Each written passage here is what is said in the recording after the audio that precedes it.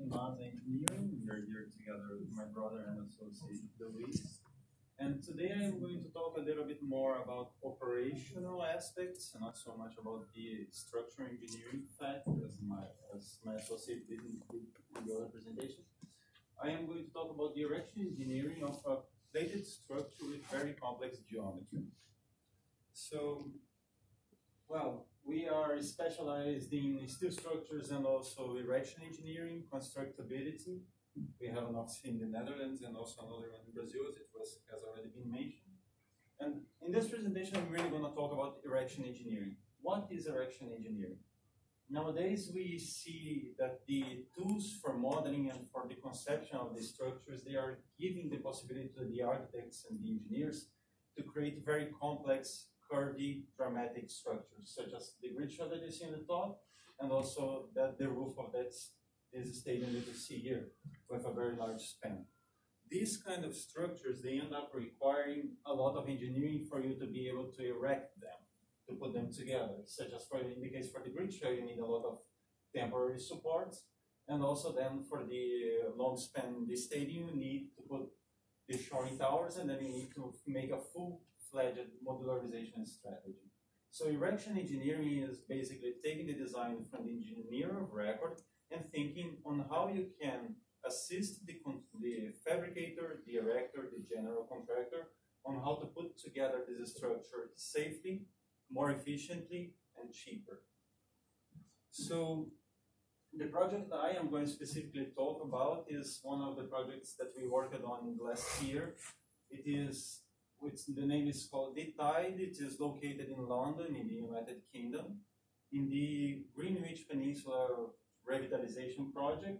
It is a very vast project, and in this footbridge, the intention is to be a running track. In this first phase, it has around 5 kilometers of length, and uh, in the last phase, the final idea is to have the full length of a marathon. As you can see, the geometry and the architecture is very well, very modern. Uh, these are steel structures, so with a plate, with a curved plate on the outer shell, and then everything inside is with stiffeners or ribs, very similar to what you would have in a ship structure, you could say. But as you can see, one of the main aspects of this structure is that you have the decks, and the, the columns, they are they have completely different angles between themselves. So how do you put this together? How do you fabricate and how do you erect? The, the, the, the, the project was separated in, in several different islands that where they had from three to seven modules each, and the modules they were counting on one another for their stability. Each one of the modules they had around seven meters in height. The area of the deck, of course, the, the deck, they had very different geometries, but usually it would be something around 10 meters to by 8 meters. And then the angle of the column, it could be up to 45 degrees. And the weight of them would be something between 20 to 30 metric tons.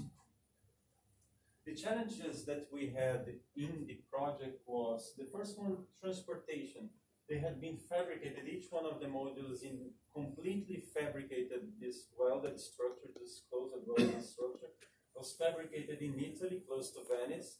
Then it had to be put on a, on a sea transportation, a sea vessel to go around, even with open sea in the Atlantic, to reach London through the Thames River. And then well, when it reached London, there was also a small section in which we had to make a road transportation using SPMTs. And then finally there was the lifting for the final installation, which was a very complex operation. So the first thing that we did was the saddle design. The, the, for the saddles, the saddles are basically these devices that you see there that are holding this module as it is still laying on the ground. In this picture, you can see a little bit more of how different each module was between themselves. You can see some in which the the angle of the column is a little bit higher, some that are lower, the deck can be really like almost 45 degrees, almost vertical. So they were very different from one another. And the conditions that we had to analyze and design the saddle for was, of course, when it would be simply resting on the ground, when it would be uh, being transported by a self uh, SPMT, and uh, finally, when of course it was inside the sea transportation, inside the barge. So, talking only about the saddle design for the time being, uh, this is for the, for the design of this structure, since we had this plated structure that was also uh, had this its stiffness linked to the stiffness of the of the saddle, so we decided to make finite element analysis in which we basically made the 3D model, the solid 3D model of the saddle together with the 2D model plated element of the, of the model itself. So for each one of the conditions, we had different boundary conditions and also loadings. At the basis of the design we did using the Euro codes, we applied also these safety factors for lifting and also for transportation for the handling of heavy loads, as it was already described by my associate. For the resting of the stools, we considered then the, the dead loads and also some lateral wind loads. And the boundary condition was some simple supports that we had on, on those points. Then for the road transportation, we added in the model a rigid, uh, a rigid area that you can see here. And so we had then the frictional contact between the solid uh, flanges of the beams of the saddle that we had underneath so that we could actually model the, bend, the relative bending that you would have on the corners here. One very important aspect was the, making the analysis for the road transportation is that we didn't add any lateral wind, uh, wind loading because the premise here is that you have control over when you're going to make the operation. So you can actually select a day in which you don't have very strong winds. But one very important aspect is the tilting of the load. Uh, since we had these aromatic structures and the center of gravity was a little bit on the on the top of the column in most of the of the cases, it could be because of the angle very high relative to the deck of the SPMT. So any tilt that you would have to the side, it could bring a lot of unbalance to the loads that you have on the hydraulic groups that you make. And then you could create an, unstable condition. As you can see here, you simply overload one of the on one of the hydraulic groups that you have set on the road transportation, and then it simply well, falls apart. For the maritime transportation, then it was a little bit the same concept. We also added then a, a, a a larger block to the uh, to the structure because we wanted to to count also for the frictional contact that you would have with the steel that you have for the deck of the ship. So we considered the dead, the dead load. Of course, the wind load we didn't add, although we would have wind, high wind loads on the on the sea. But it was a premise that these models would be inside the deck, so you don't have wind action there. For the sea loads, we have, we went for the International Maritime Organization that gives you premises regarding the acceleration that you can that the barge can have, depending on the kind of sea you have. We have to consider that you have unrestricted sea because of that chunk that we have in the Atlantic. And since we have no control on the orientation of the module of the saddle regarding the the well the vessel, we have to consider that sideways for all the sides. So we actually had accelerations that were going forward uh, to the top, down, left, and right. Another aspect is that then we had uh, we added some supports here for lateral load, from which then we acquired the uh, the reaction loads, and this was a premise for us to give for the maritime carrier, so that he would do the sea fastening by himself. He would know exactly what would be the reactions that he would have. Then as you can see, each one of the conditions, of course, it yields different uh, load distributions that we have being as expected, the sea transport, uh, the sea transportation, the most critical case because of the magnitude of the lateral acceleration loads that we have. And that was also the case for the analysis done, for the von Mises analysis in the in the module itself. So the the good thing in this is that it we we took a little bit more of time to create this mod, the models for each one of these parts, but then it was much easier for for us to work with the various different loading conditions that we have. Then talking a little bit about the lifting, when you have a, a customary lifting operation in which you have the rotation, the verticalization of the module that you want to install, such as for a, for a process tower or most of the structures that you would have, what happens here is that you would have the top lugs, as it's shown there by the by this line here in orange. So suppose you have then a line that is connecting these top lugs and another line that would be with the auxiliary lug passing through the center of gravity. This is perpendicular. So what happens here is that as you're making the verticalization of this of this module, you the this module does not tilt to the sides because the center of gravity is always in the same alignment with the line that you have on the top lugs. But in the condition that we had in our models, this was not applicable. As you can see here, this is the top-down view of one of the models that we had. So we installed four lifting lugs. We needed four lifting lugs so that in the final phase of the operation, you could bring the deck to the as parallel as possible as you have to the to the ground plane. So in the beginning, you only had these two lugs that were active and then the tailing lug. But since these lines here, they're not perpendicular, what happens essentially is that as you're lifting the module, the module is going to tilt to the side, okay? And this is super dangerous for our case because the center of gravity is above the stability plane. So what uh, we found out that there was a very dangerous condition that could happen that as the module was being verticalized, it could tip over. And then if it tip over, you change completely the setting of the, uh, the slings and the crane collapses. So this was the biggest challenge that we had, and we had to make very thorough, thorough analysis for all the modules that we were that we were checking for the for the project. And the solution that we found was to work with these dynamics that we had in the natural transition of the verticalization operation. So we began with two sets of slings that were activated in the beginning, as shown before. So the, the, the beginning of the, uh, the rotation operation, you have the cables on those, but you already have a little bit longer cables attached to the four slings. And the length of the third sling, that one that you can see that is still curvy there, was carefully adjusted so that at a certain point in a given inclination of this model during the rotation, it became taut. So as it became like taut, it made a basket with the three slings, and then we contained the rotation operation by doing that.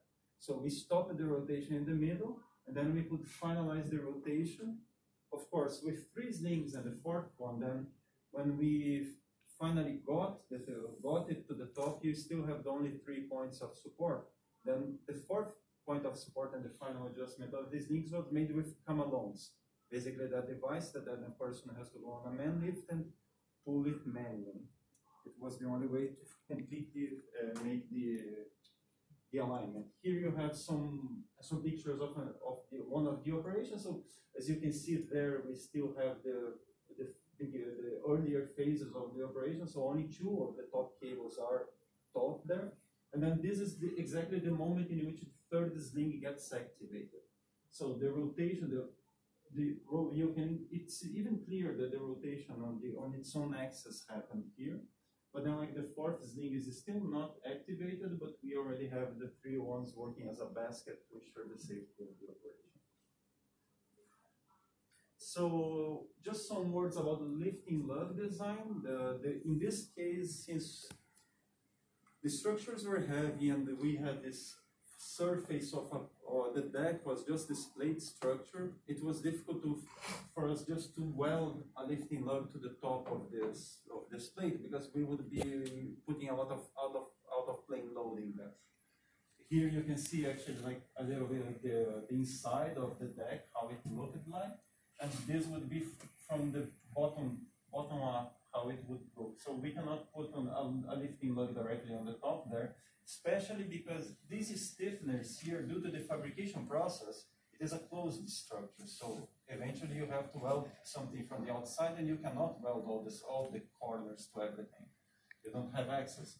So these here, you can see that they are not reaching the other stiffness because it is a plate that came from the top, you can only then weld the seams on the side. So you cannot have that weld there. That would be very beneficial for us if we were to put a, a lifting lug there. So what we came up with is that since we already had a lot of radial stiffeners around, just put the lifting lug in the middle, attach it directly to the to the radial stiffener. That is the best load path that you would have for lifting lug, because then you are actually well, basically pulling the plate in some plane. Uh, in this situation here, this was the first one that we made, so some parts were already fabricated and we couldn't do it. In the other ones, this here was actually, the, the stiffener plate was cut and the lug was embedded. In the first one, we had to weld to the side, and then, well, uh, just going back a little bit, so the, for the lifting lug, we also used this that very same uh, finite element model that we had for the, so it, it became practical in the end. And uh, we made the checks for all of, for several different angles because also you have a lot of different, well, inclinations of the loads in each one of the, of the lifting lugs. So as a result, here you can see a little bit like the load distribution that you have in the lifting lug. One of the important things is that you can clearly see some bending there in that first image that you have on the left top side. Uh, because it, in this situation, it was impossible for us to avoid having bending on these lifting lugs. But because as we were making the rotation, eventually the angle of this link had to go out of the plane of the lug. And here also, since this one was the welded one to the, to the face, you can also see some bending here that you would have on the plate. But then this effect here in the other one that you would have it embedded, it would be a little bit better. And then the, the best part is that on the plates on the top, we really have very low loads with this kind of, of configuration. So, as a conclusion, the attention items, the very important ones, is that if you really have to check when you you have the rotation of a complex structure if you are having some dynamics that is happening between the points of support, the center of gravity, and the tailings. So the top lugs and the tailing lug and the center of gravity, if they're not perpendicular, and especially if the center of gravity is above the peak points, then you have a red flag there that you really have to take care of. And of course, complex structures require careful erection engineering, and you have to pay attention to the lifting lugs because the lifting lugs, they it's maybe one nowadays, one of the few elements that we have structure engineering that really see the loads that you're calculating for. So and uh, well, thank you so much for your time. Arigato gozaimasu. Any questions or comments? I'm wondering if you had to check the permanent structure for the temporary loads, and if you did, if that resulted in any of the permanent structure having loads beyond their capacity, something that be thickened or reinforced or anything? Well, we checked, and in one of the iterations that we had for the lifting lugs, as we were reaching the final solution, we even thought about adding some stiffness to the bottom of that plate. It, uh, it wasn't enough to contain the bending, actually. But in this case, we checked the structure, but it wasn't really necessary for us to add, uh, to change sections, uh, increase the thickness of the plate or whatnot. It wasn't really necessary in this case. Okay. We added some uh, pads in just one location. Yes. Yeah. Yes, just a, for that lifting Yeah. just a compliment. Mm. Any